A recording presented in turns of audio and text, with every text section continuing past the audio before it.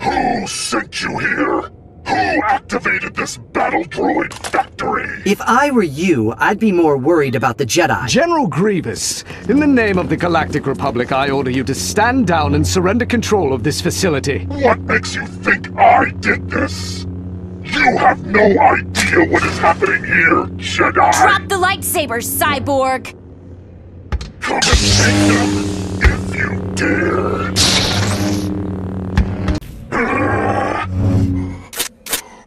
dare strike at me! You'll pay for your arrogance!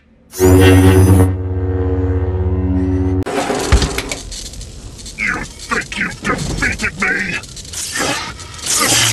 You have no idea what kind of threat you are facing! Over for you, the war is. Prisoner you now are. I disagree! Vulture, to me!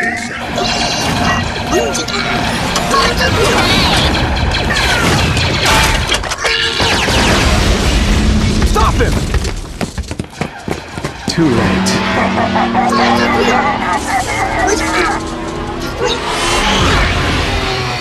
Grievous never fights a battle he can't win. But what did he mean? If the General was not running this factory, then who was?